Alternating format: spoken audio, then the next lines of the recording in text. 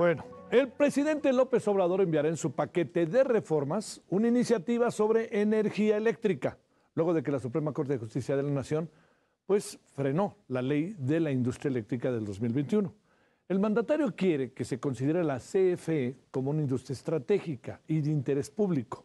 Con esto espera que el sector regrese como funcionaba a finales de los años 50. ¿Qué piensa usted?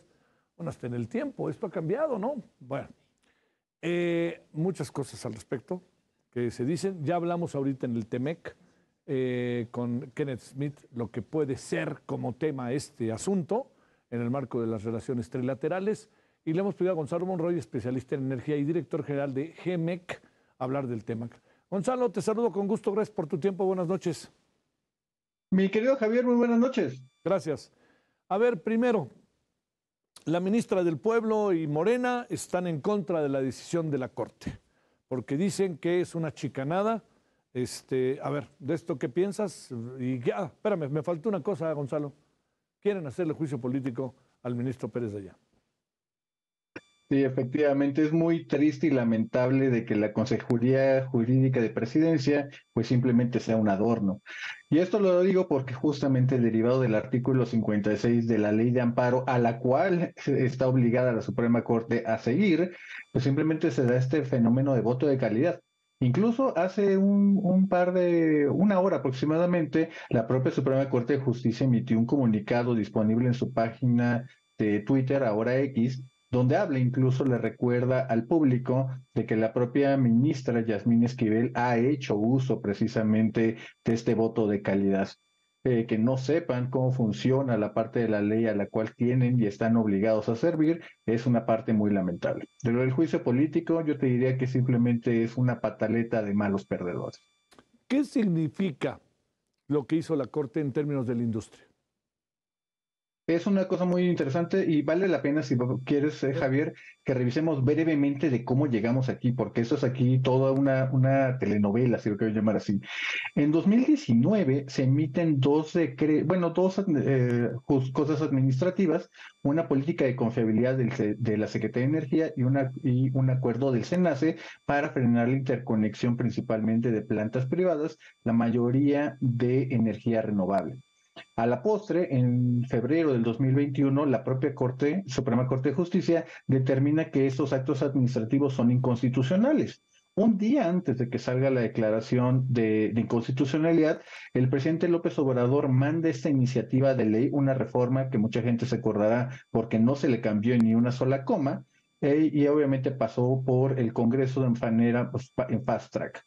Esto es justamente lo que se intentó y ya se llegó a la parte de los amparos, donde estamos al día de hoy. Eh, en ese inter, el presidente López Obrador ya había intentado hacer este cambio constitucional para preservar estos cambios a como diera lugar y fue frenada en, en la Cámara de Diputados en, eh, si mal recuerdo, febrero del 2022. En abril del 2022 eh, está la primera prueba de fuego de la reforma aprobada de 2021, una reforma secundaria donde no se alcanzaron los ocho votos necesarios para declararla inconstitucional, prácticamente por una contabilidad de los votos bastante peculiar del, ministro presidente entonces, Arturo Saldívar. Sin embargo, estos posicionamientos que hicieron eh, siete magistrados fueron la base con la cual se construyeron estos amparos, las posiciones de los ministros, que hoy en la segunda sala de la Suprema Corte de Justicia invalidan con efectos generales, porque solamente los amparos fueron de seis empresas, para que tenga y todos los, en este caso los participantes del mercado eléctrico, sean beneficiados de este amparo. La situación es que nos deja en, un, en una realidad dual, yo te lo diré de esta manera, Javier. Todos los anteriores participantes antes de la reforma van a seguir participando con las reglas de 2013, la reforma energética de Enrique Peña Nieto. Pero si una nueva empresa quiere venir aprovechando el fenómeno de nearshoring, se va a tener que circunscribir o a obedecer las leyes de esta reforma que pasó el presidente López Obrador en febrero del 2021. Bueno, entonces el asunto está en que ahora el presidente ha dicho que va a meter una nueva reforma el 5 de febrero.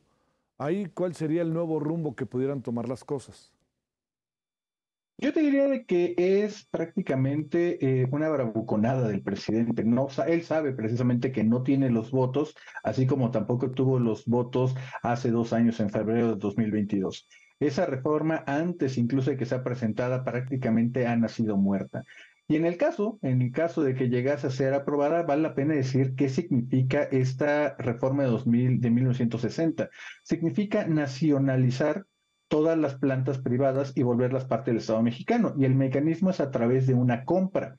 El problema es de que todas las plantas eléctricas de privadas que hay en el país llegarían a montos superiores a los 75 mil millones de dólares, que es el doble de lo que vale Comisión Federal de Electricidad. Simplemente no hay dinero que le alcance y como mencioné, tampoco tiene los votos para llegar a ese objetivo.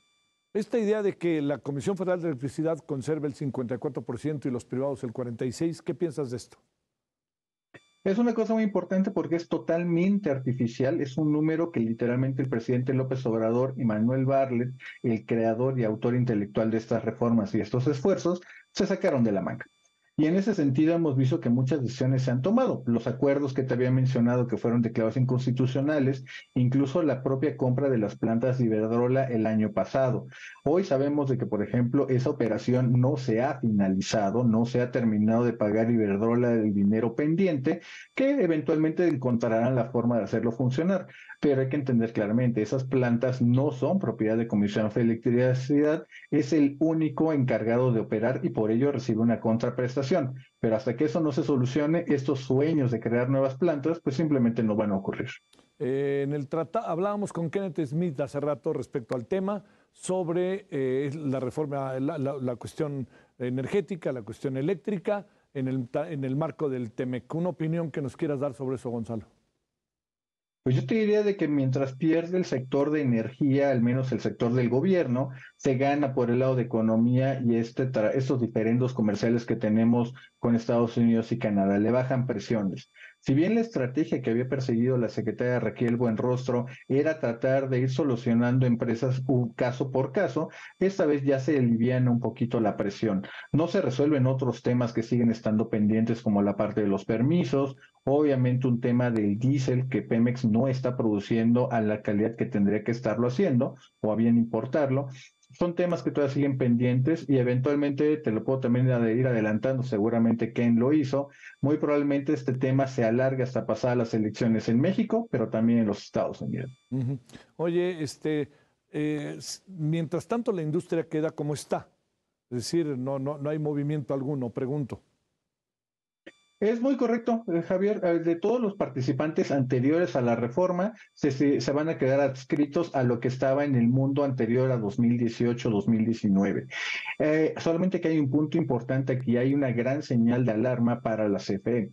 CFE pensando de que esta reforma iba a quedar como la ley en la tierra, que iba a ser la ley vigente, se puso a construir seis plantas eléctricas de las cuales hay un problema muy importante y es uno de los apuntes que hace la Suprema Corte de Justicia. CFE, para poder comprar energía, incluso de sus propias plantas, lo tiene que hacer a través de un mecanismo de las subastas eléctricas. De otra forma, CFE no puede comprar energía y en este caso se vuelve un problema grande para la CFE, incluso para su comité de inversiones, puesto que los ingresos que pensaban que ya estaban garantizados, hoy ya no lo están. Están muy cerca de, tener responsabilidades de daño patrimonial contra la propia CFE. ¿Está desconfiado la industria o no? Yo creo que es un momento de celebración para la industria que quería tener mejores condiciones para trabajar con, de la mano y también competirle a la propia CFE. Es un, es un gran beneficio, sobre todo para eh, los mexicanos, en dos cosas. Una, para poder comprar suministro eléctrico si así le conviene a los usuarios calificados y a algunos otros particulares. Y el segundo, también en términos ambientales, mi querido Javier, es una cosa que se garantiza con esto es que CFE ya no puede poner a trabajar de manera inmediata sus plantas de combustóleo, que en cierta forma son las grandes causantes de las crisis ambientales que vemos en el altiplano del país o en lugares también como Monterrey, en buena parte alrededor de Salamanca o incluso en Manzanilla. Te mando un gran saludo, Gonzalo. Muchas gracias que estuviste con nosotros. Buenas noches. Claro que sí, Javier. Un tremendo abrazo para ti y todo tu público. Muchas gracias.